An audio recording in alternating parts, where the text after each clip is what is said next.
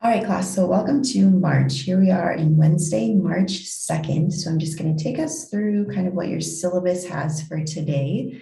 Um, I try to go through this every time at the beginning of the class. Let me let in a couple more people. So as you know by now, we're a little bit behind in lectures. So here's Wednesday, March 2nd.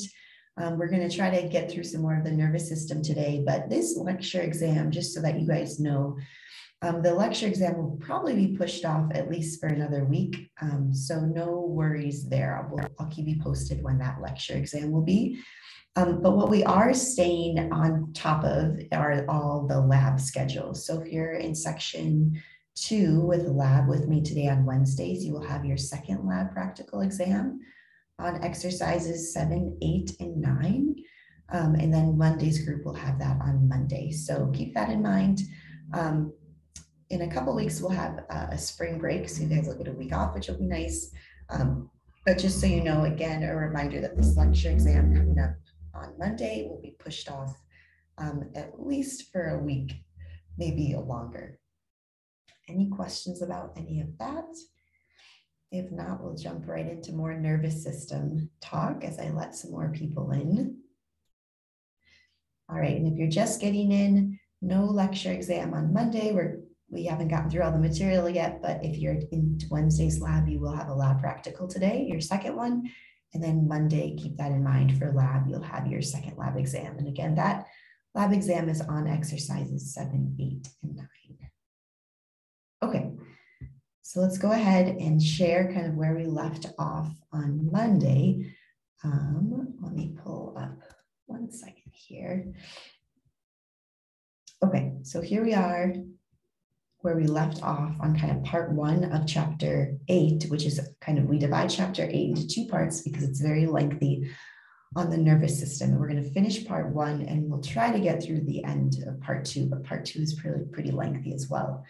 Um, when we talk about a synapse, a synapse is any junction or a connection uh, between a nerve and a muscle cell. And in our case, we're talking about a neuron neuronal synapse. So this will be the synapse or connection between one neuron and how it connects or interacts with another neuron.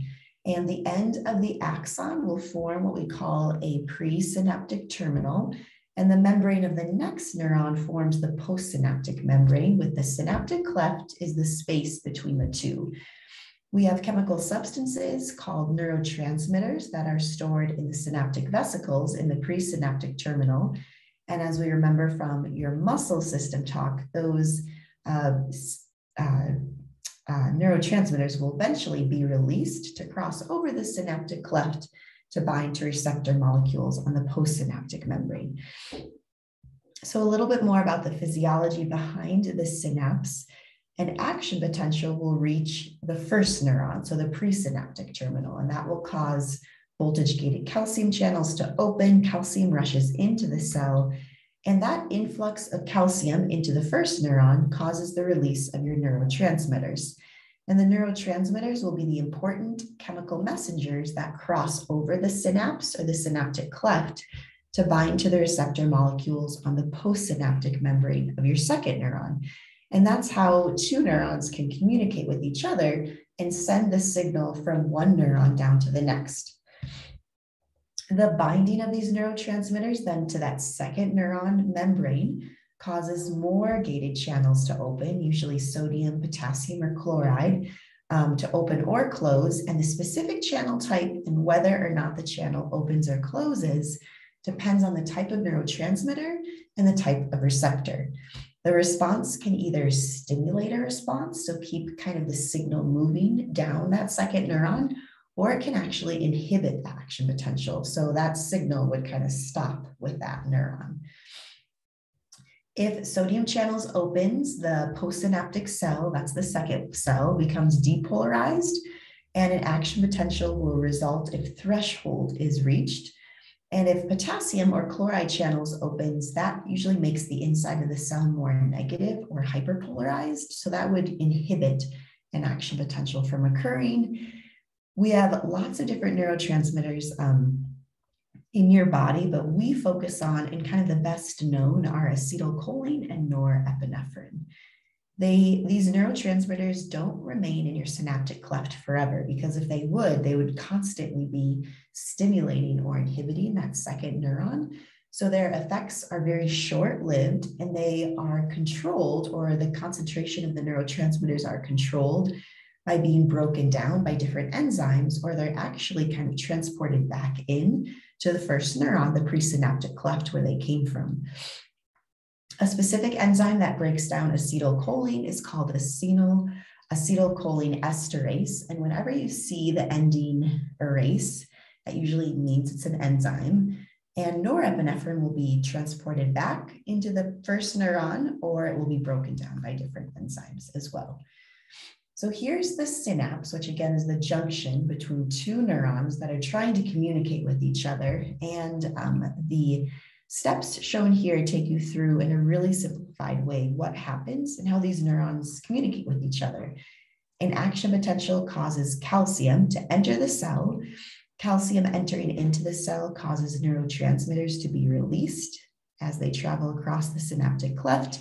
They will bind to um, receptors on the postsynaptic membrane, as shown here. And the binding of those neurotransmitters on the second neuron opens more channels and usually if sodium channels are open, then sodium rushes into the cell and that would stimulate an action potential in the second neuron. A reflex has to do with this kind of connection in synapse because it's an involuntary reaction in response to a stimulus applied to the periphery and transmitted to the central nervous system. And reflexes are very important because they allow us to react to stimuli more quickly than is possible if conscious thought is involved. So, a reflex, you know, think of your doctor hitting the patellar tendon on your knee, or the idea of you removing your hand from a hot stove. That is a reflex that happens automatically and incredibly fast. So, most reflexes actually just occur in the spinal cord and they don't travel up to your brain at all to get that motor response of kicking your leg out when the doctor hammers your knee or removing your hand from a hot stove. So your brain isn't even involved with that. The reflex kind of goes in and out of the spinal cord. Your brain eventually finds out what's happening, um, but the initial act of the reflex um, is not processed by the brain.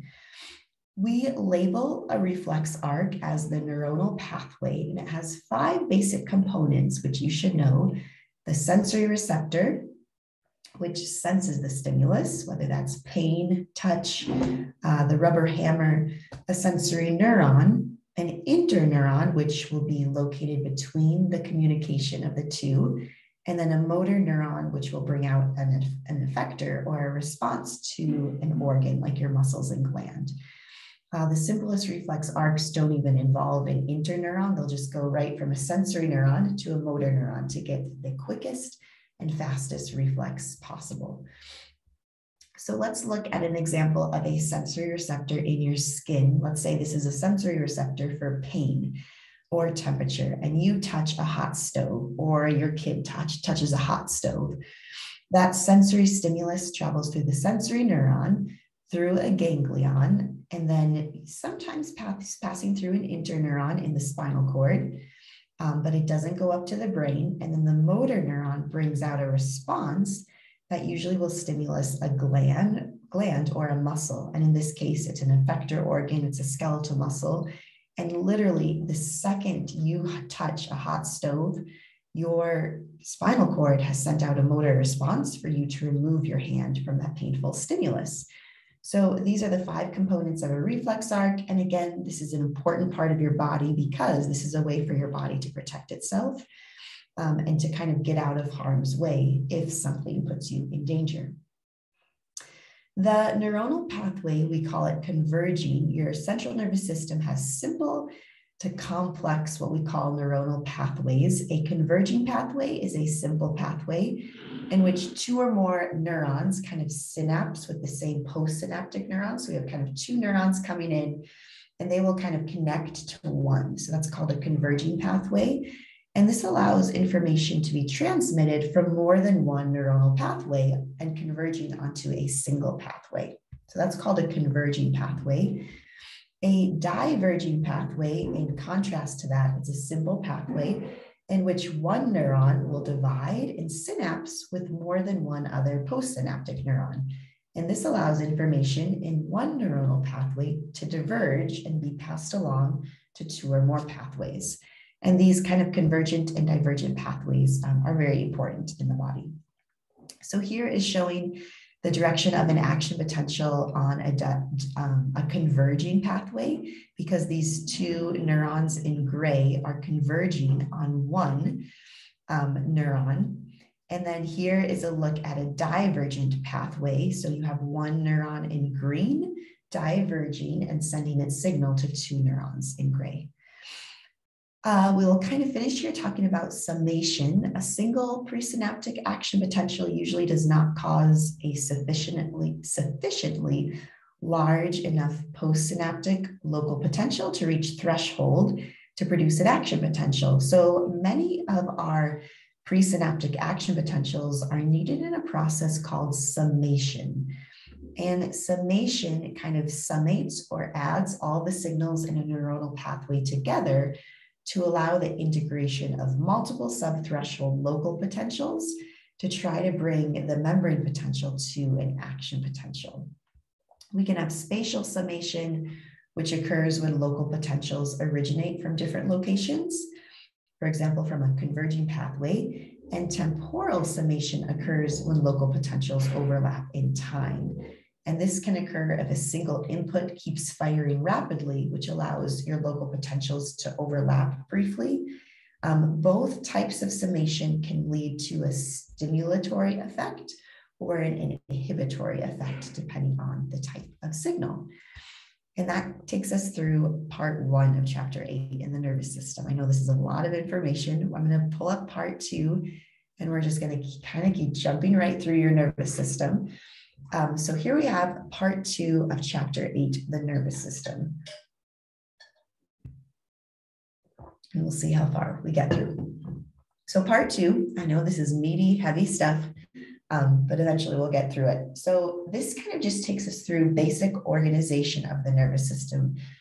Part one was a little bit about how your nervous system kind of functions, how it sends off signals and action potentials, and part two is going to take us through a little more basic anatomy. So hopefully this part two is a little easier to take in and process. So we divide our nervous system into a central nervous system, which consists of your brain and spinal cord.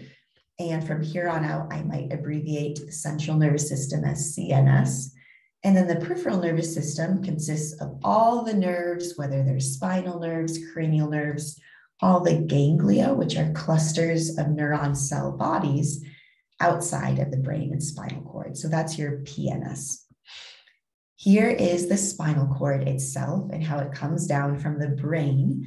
Um, it extends from the foramen magnum, which is the hole that it passes through from the brain, to the second lumbar vertebra. And you can see that here. Kind of this area is kind of the end of the spinal cord. It's protected by your vertebral column. So your spinal cord travels through all the vertebra that stack up on each other. And spinal nerves come off the spinal cord as a part of your peripheral nervous system to allow for movement and control of your body. Um, if your spinal cord is damaged, paralysis can occur.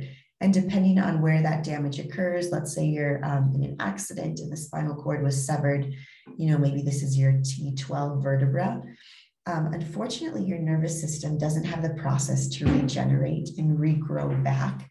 So if your spinal cord is severed or if you have a spinal cord injury, um, you know, the connection from that brain will not get past that severing. So anything, you know, from this kind of line down, wherever the severing occurred, those parts of the body would be paralyzed.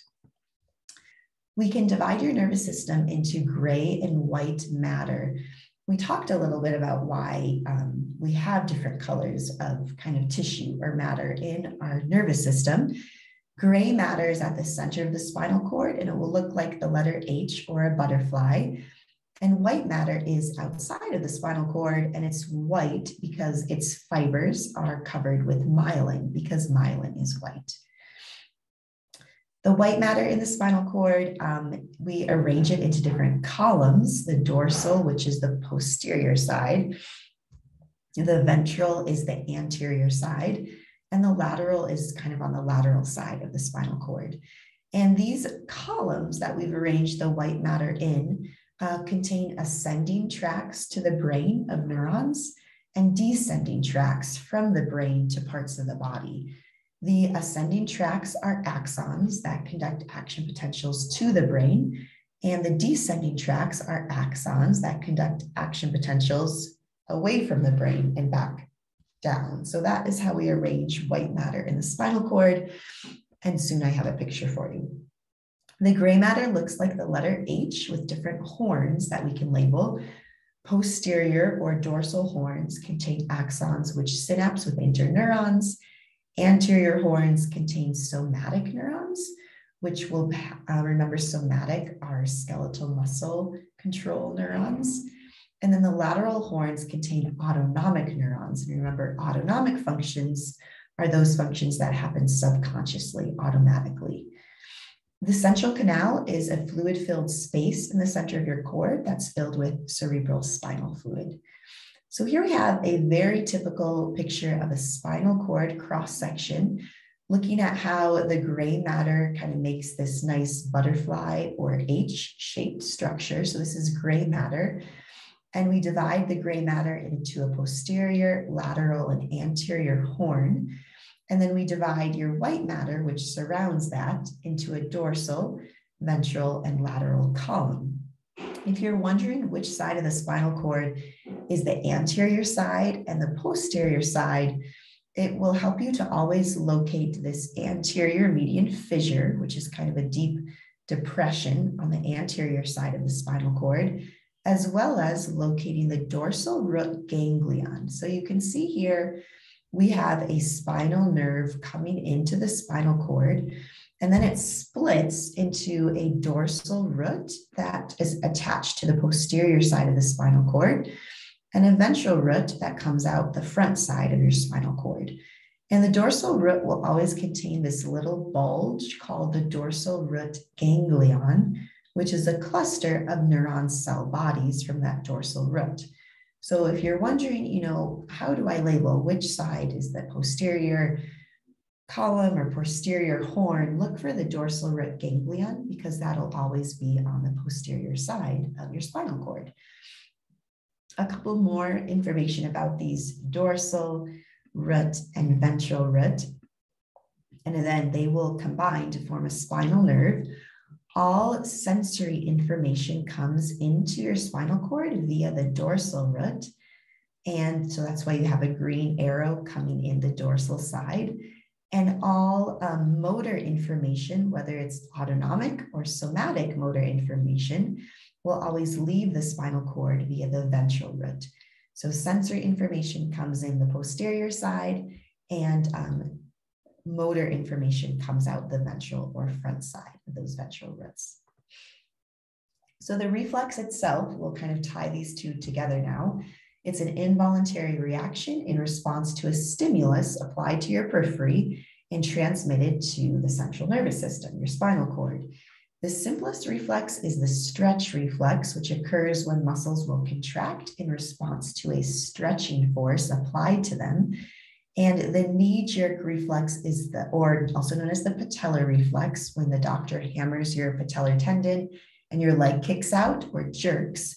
That's a very classic example of a stretch reflex. And I'll show you a picture of that reflex. Here's another type of reflex called the withdrawal reflex.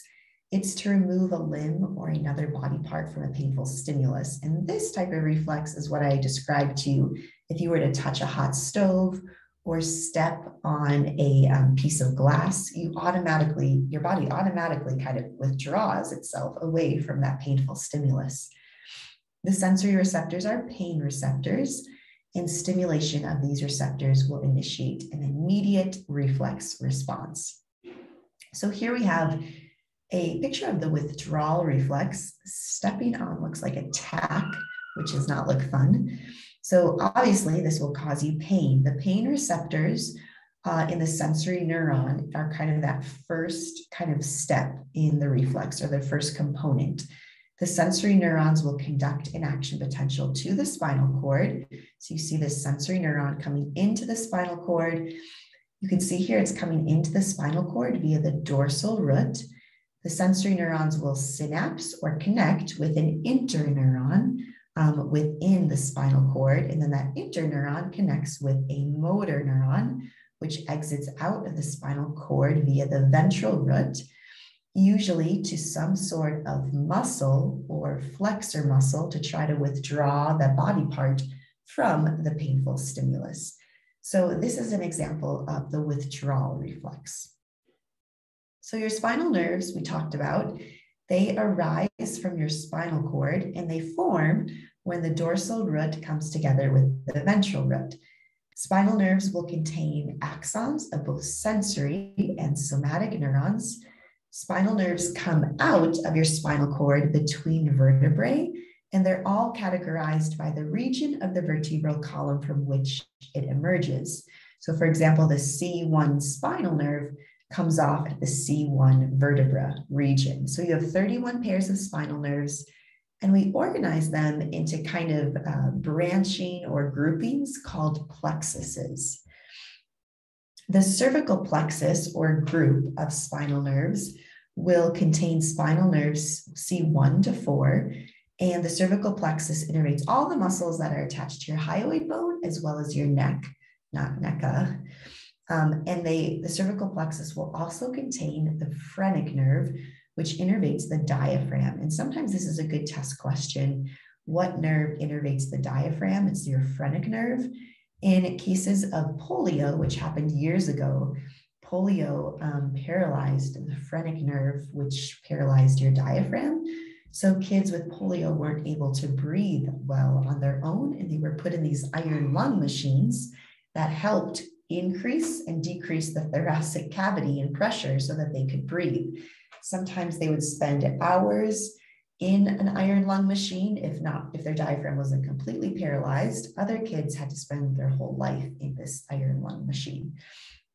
So the polio vaccine helped a lot with that.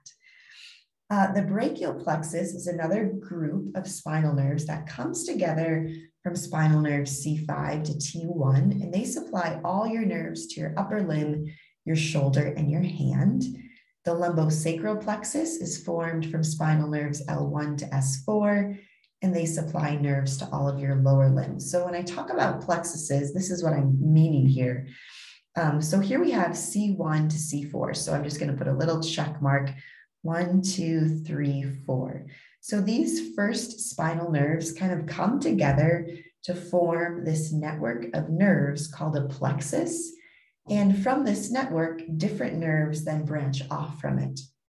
And plexuses are really important because if we have a whole kind of branching system of nerves being formed from four spinal nerves, um, and then you have a, one nerve kind of being a branch off of them, if you have any damage to C1 or C2 or C3 or C4, you might not lose complete control of the part of the body that's controlling your arm or, or your biceps muscle, for example, because if you have damage to C2, your C1 nerve might still work, um, and that would still provide innervation to this nerve that's formed from a plexus. So plexuses give an extra added level of protection um, to the nervous system and controlling parts of the body. Here are the spinal nerves forming the brachial plexus, um, the lumbosacral plexus, we kind of divide into a lumbar and a sacral plexus by themselves, and then the coccygeal plexus. A dermatome, um, so your nerves arise from each region of your spinal cord and the vertebral column, and they su supply a specific region of the body.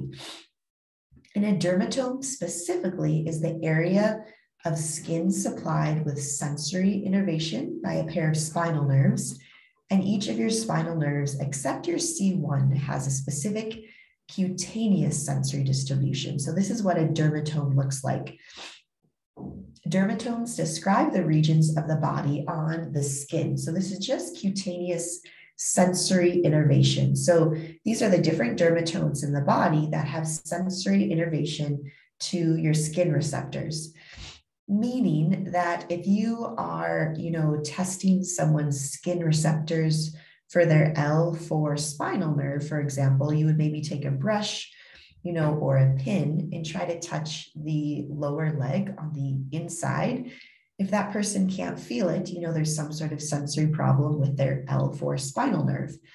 If you try to touch the back of their calf, you know, in this S2 dermatome, and they're able to feel that, well, you know that sensory information is still okay in their S2 spinal nerve. So these dermatomes are just showing which, you know, skin areas are being supplied by specific spinal nerve, and it's just great for a diagnostic tool. Then we'll go through parts of your brain stem um, so we're kind of going through your central nervous system first. We just kind of went through your spinal cord, and now we'll go into your brain. Um, the brain stem are, is made up of these structures, the midbrain, the pons, and the medulla oblongata. So those are parts of the brain stem. So we're going to kind of start there, and then we'll work our way to the rest of the brain. The medulla oblongata is continuous with the spinal cord. So here's your medulla oblongata, and it will continue down as your spinal cord. It functions to do a lot of different um, stuff. It regulates your heart rate, blood vessel diameter, breathing, swallowing, vomiting, hiccuping, coughing, sneezing, and balance. And other functions is that it includes some pyramids within it. Pyramids are specific areas of your medulla that are involved in the conscious control of your skeletal muscle. The pons is located above the medulla, and I'm just going to show you. Here's your pons. It kind of is this rounded kind of circle region right above the medulla. So that's the pons. That's where we're going next. And then we'll end with this midbrain area. So I just want to kind of bring to your attention. We'll talk about pons and then the midbrain. And these are the three parts of your brain stem. The pons is right above the medulla. It's kind of like our bridge between the cerebrum and the cerebellum. So moving back to this picture, uh, the cerebrum itself is all of the brain tissue on the top. And your cerebellum is kind of another specific structure separated from the cerebrum um, that has different um, kind of purposes or functions than your cerebrum. So what this is saying is your pons, which again is the circular region, is kind of the connection piece between your cerebellum and your cerebrum above it. It will help to function in breathing, chewing, salivating, swallowing. And again, it works to kind of communicate and be that relay station between your cerebrum and cerebellum. The midbrain then is kind of the most uh, superior part of the brain stem. It functions to help coordinate your eye movements, the pupil diameter, turning your head toward a noise when you hear it. Um, we adopted a dog and we were so worried that he couldn't hear or see, but he does turn his head when he sees noise, kind of a tangent there. The other part or other kind of functions of the midbrain is that the dorsal part has four colliculi, which are little bodies which are involved in visual and auditory reflexes. So that is the brain stem. Reticular formation describes kind of more brain structures that are scattered throughout the brainstem and they can be kind of scattered as different nuclei, different structures.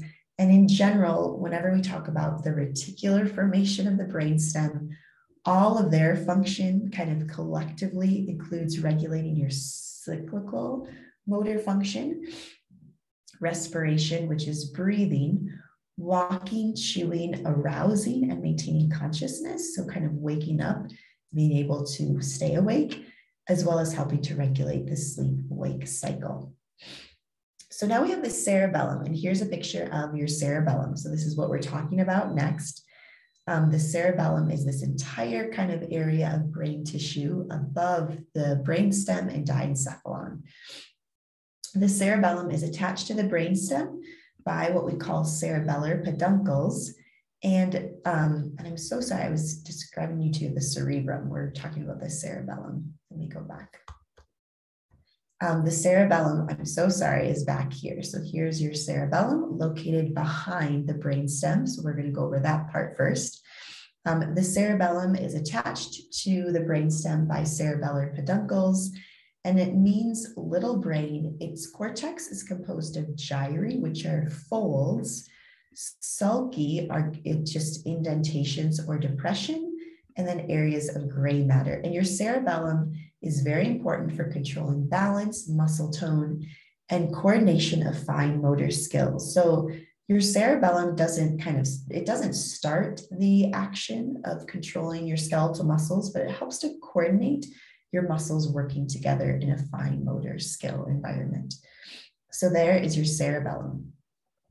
The diencephalon which is next. So again if you're wondering where we're at if you're confused already we talked about the brainstem the midbrain the pons the medulla oblongata.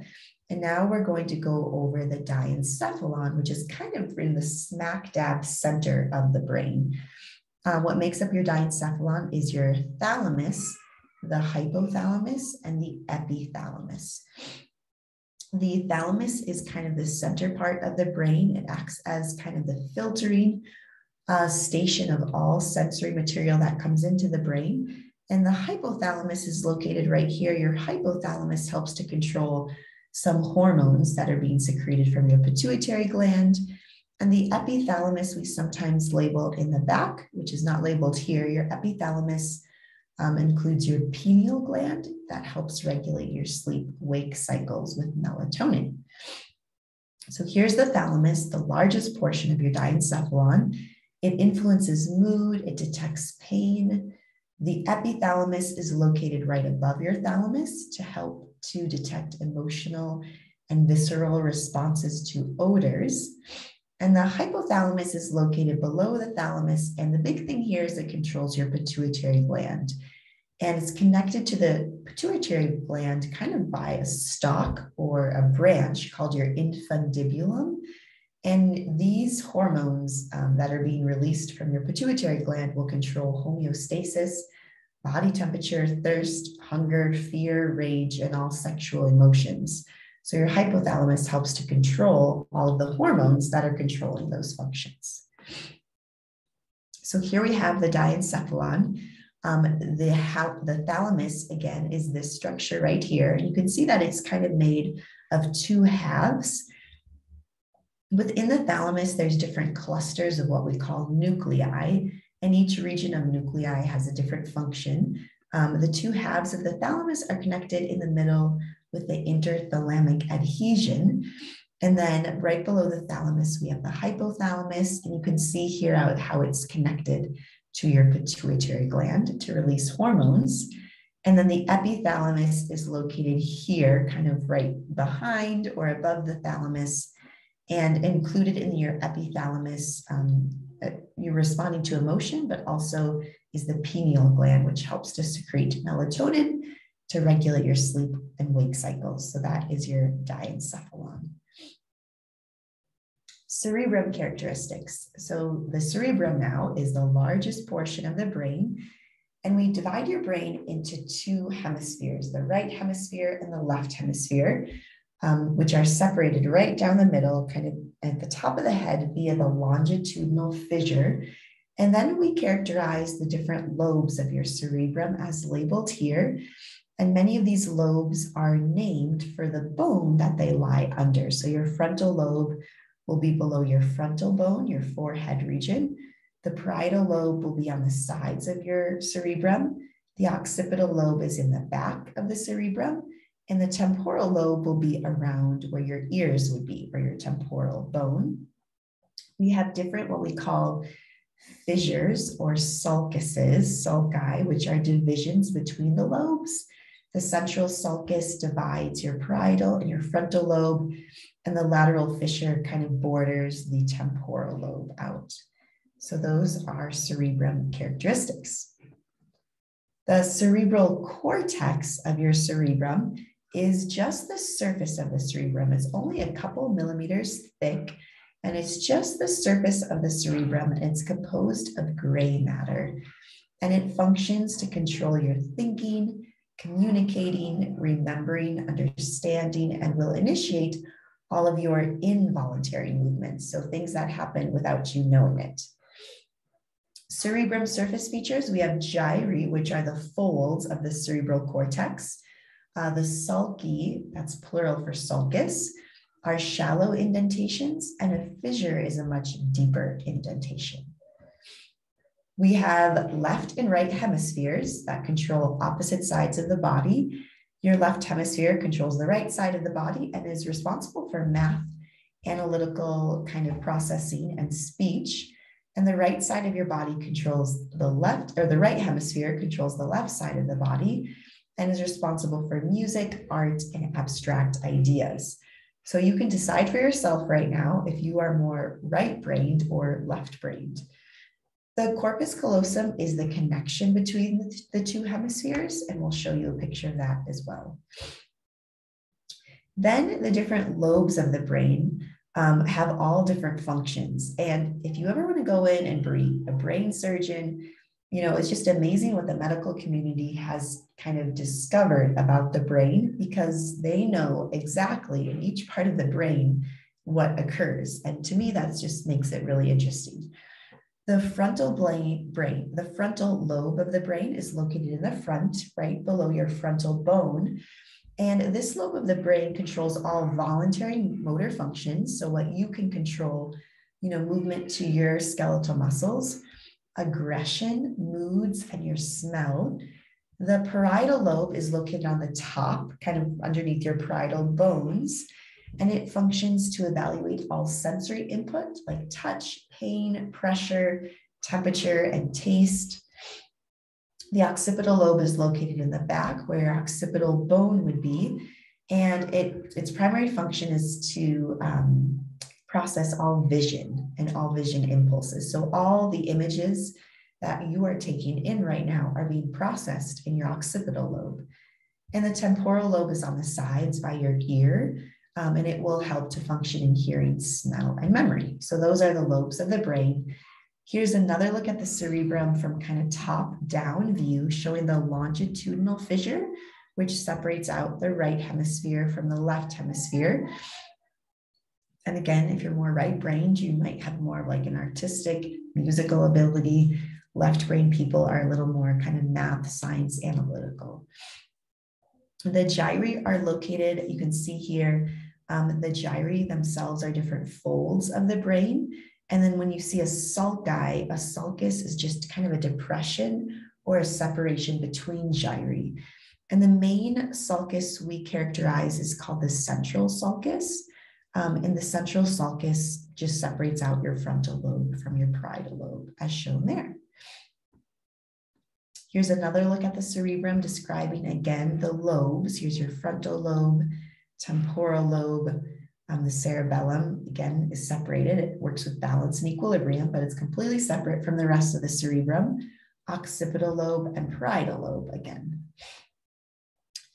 Sensory function. So your central nervous system your brain and spinal cord are constantly receiving sensory input. We are unaware of most of what happens. So your brain is kind of taking care of things inside of your body as well as outside of the body. It's helping to regulate temperature without us even knowing it. Sensory input is vital to our survival and normal functions because there might be something that's going on inside of your body. You might be fighting off an infection or a disease your body digestive tract is trying to break down the pancakes and eggs you ate for breakfast that all that sensory input goes to your brain and then your brain controls the function of that without us even knowing your heart rate your heart rate might be increasing right now because you're nervous about all this information you have to learn or your heart rate may, may, may be very slow right now because you're totally bored and this is just too much to take in so, heart rate, breathing, respiratory rate, pH, all of that is controlled by your brain and spinal cord. Ascending tracts are sensory tracts that carry all of that sensory information and impulses up your spinal cord to the specific part of the brain that needs to process it. Each ascending tract will be involved with a limited type of sensory input like pain, temperature, touch, position, or pressure. And tracts are usually given a composite name that indicates their origin and, and termination. So, for example, a name of a, an ascending tract usually begins with the prefix spino because it will begin in the spinal cord. And an example of this is the spinothalamic tract. It will begin in the spinal cord and end in the thalamus. The sensory tract itself typically will cross from one side of the body to the other, either in the spinal cord or the brain stem.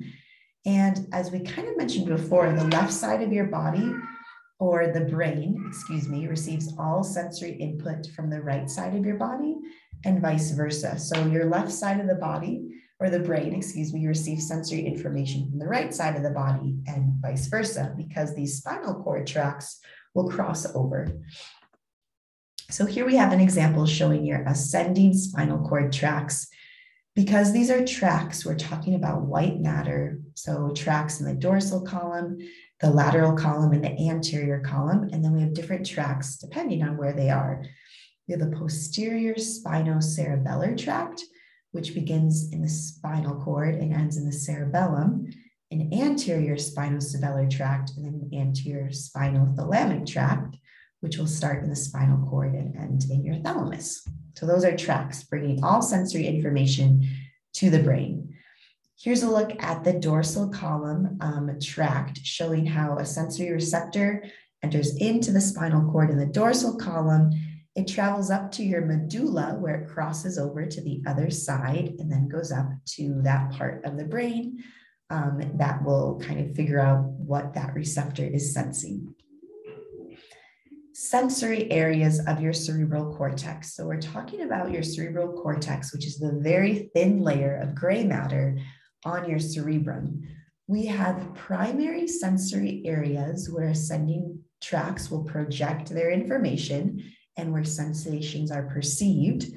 And we have a primary somatic sensory cortex, which is the general sensory area in your parietal lobe that takes in all sensory inputs like pain, pressure, and temperature. Any sort of somatic motor function that occurs, remember a somatic motor function innervates skeletal muscles, and your somatic motor system is responsible for all of your skeletal muscles, which maintain your body's posture, balance, moving your trunk, your head, your limbs, your tongue, your eyes, as well as communicating through facial expressions and speech. All these somatic motor functions, any reflex that will be mediated or started through the spinal cord and brainstem will be responsible for some of these body movements that are involuntary, like quickly flexing your arm to remove it from a painful, painful source. But voluntary movements will be consciously activated, like achieving a goal, like walking or typing or writing or taking a sip of water or coffee. The voluntary movements result from the, the stimulation of neural circuits that consist of two motor neurons, an upper and a lower motor neuron. And these upper and lower motor neurons um, each have cell bodies in different parts of this nervous system, Upper motor neurons have cell bodies in the cerebral cortex, which is in the brain, and there they will project down the spinal cord to synapse or connect with the lower motor neuron. Lower motor neurons have cell bodies in the anterior horn of your spinal cord gray matter or in cranial nerve nuclei. And what this is just showing is how these upper and lower motor neurons will communicate with each other to produce a skeletal muscle response. So axons of lower motor neurons leave the central nervous system and will extend through your spinal or cranial nerves to your skeletal muscles themselves. And here are the motor areas of your cerebral cortex. We talked about how the sensory areas are in the parietal lobe.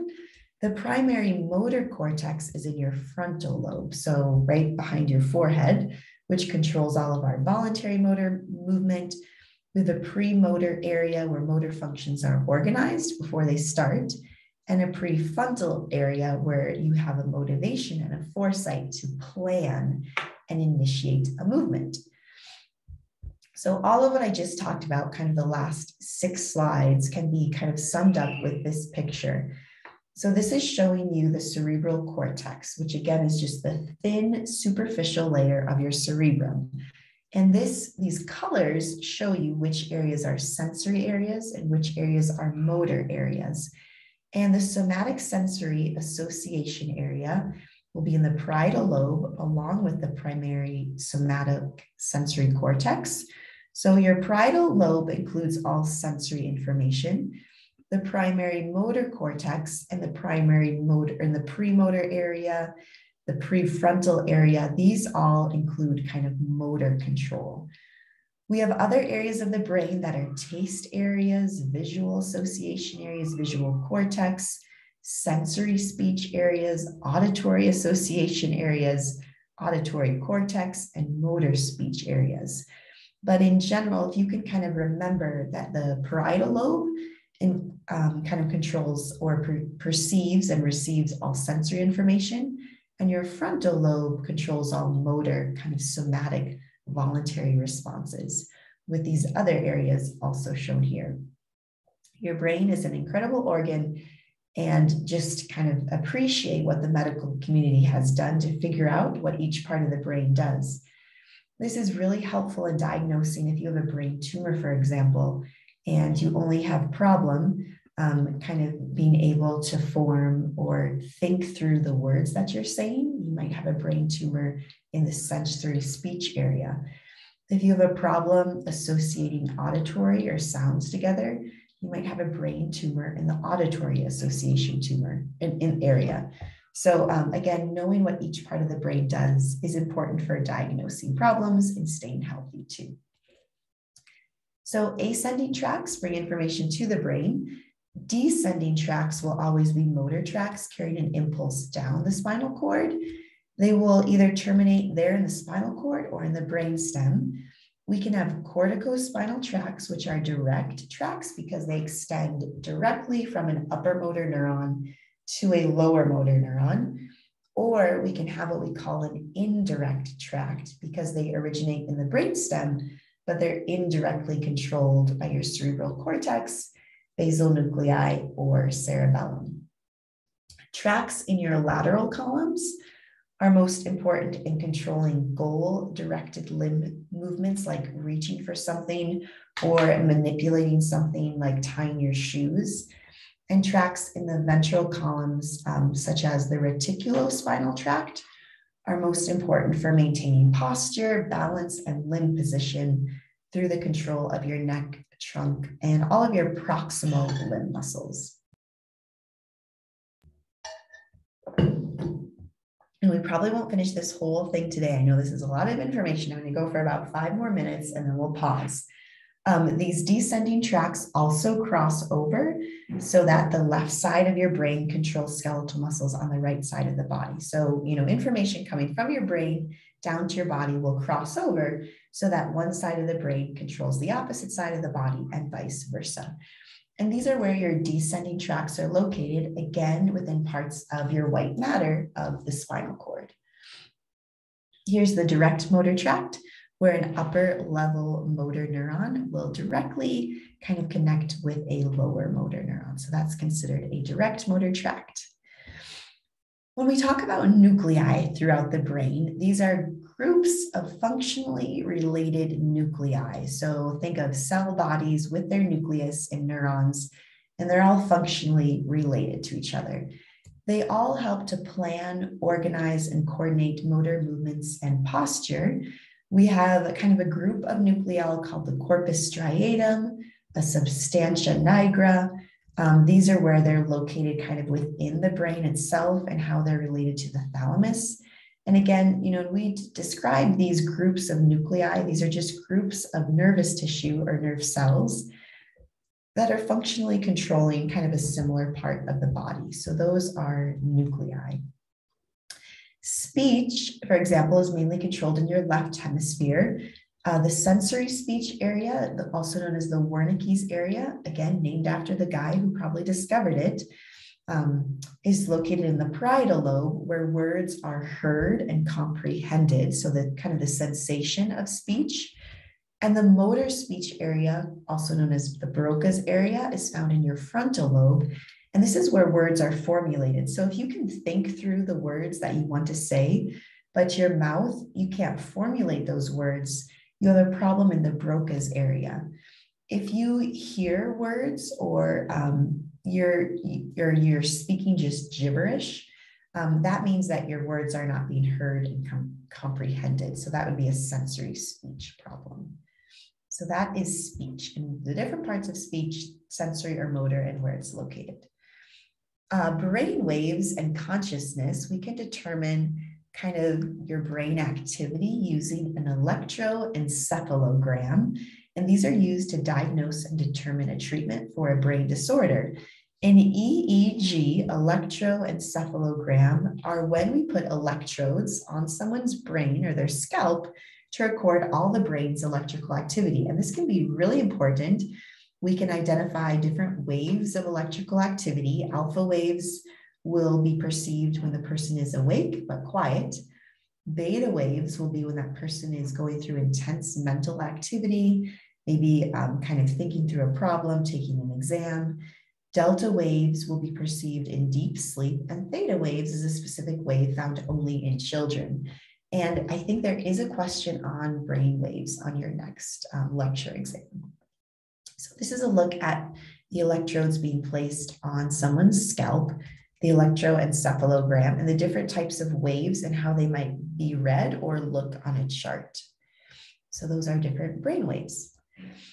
Memory is really interesting, and we start with memory by describing what encoding is.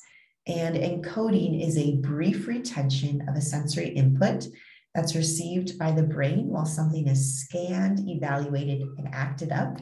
This is also called your sensory memory, and this is located in your temporal lobe, and it lasts for less than a second. So that what that's what encoding is. Consolidated memory um, or consolidated, it means this is data that has been encoded and it's stored in your temporal lobe as short term memory. Storage refers to long term memory. Um, that's usually a long term memory from either a few minutes ago or a permanent memory. And depending on the storage of a long term memory, it depends how often you retrieve that memory and think of it. So, for example, if you're trying to remember something from, you know, an hour ago, if you don't think about it or you remind yourself again or write it down, you'll probably forget it. But you can permanently remember things, especially things from your childhood that maybe had an impact on you. Unfortunately, sometimes those are negative memories that unfortunately you remember the most. But even um, learning how to ride a bike your first time or a family vacation, you know, if you think about if you think about the memory often, then it's more likely to go in your long-term memory storage.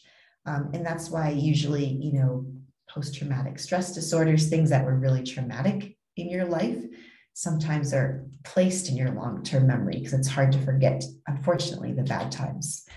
And then retrieval is how we just describe how often we retrieve that information or we use it. So, um, yeah, that's retrieval. Types of memory, short term memory, are usually um, information that's retained for a few seconds or a few minutes. So short term memory are just small bits of information, usually seven or less.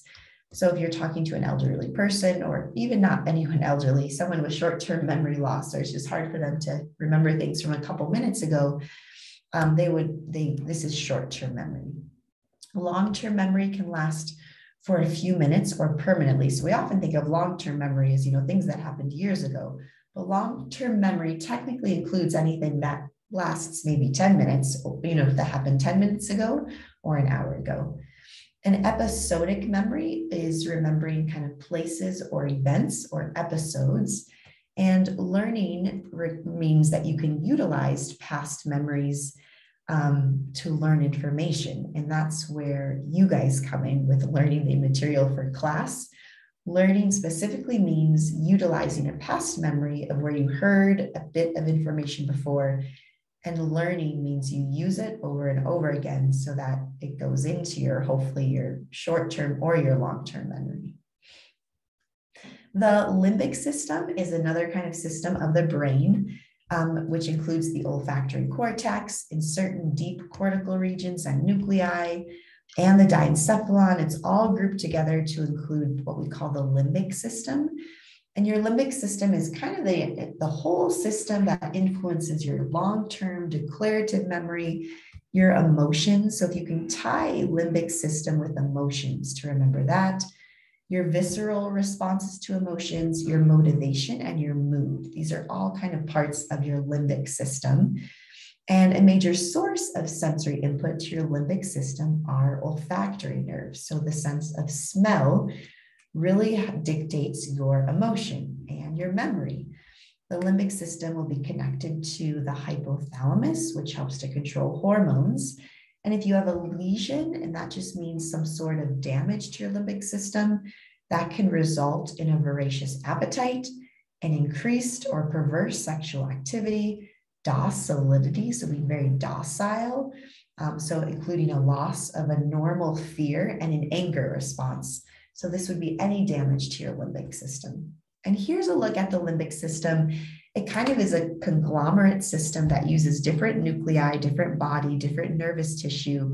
It includes olfaction. And just try to remember limbic system is connected with emotions. Okay, and I think with that, we will pause there with meninges. So I'll remember that place. Um, I'm going to pause there because I think you have plenty to go over. Um, for those of you who are wondering, you know, how we're doing with, with your schedule, if you kind of joined us a little late, we're finishing up part two of your nervous system in chapter eight. And we still have to get through chapter nine, which will be senses depending on how long that takes, um, you know, we will not have a lecture exam on Monday, which is the 7th, possibly Wednesday, um, but I'll keep you posted when your next lecture exam will be, but it will not be next Monday, which is March 7th. Um, but what is correct in your syllabus is we'll maintain the same lab schedule. So today with lab, we'll have your second lab exam on exercises seven, eight, and nine. And then Monday, you'll have your lab exam for that. So I'm going to go ahead and stop the recording there and then I'll answer any questions.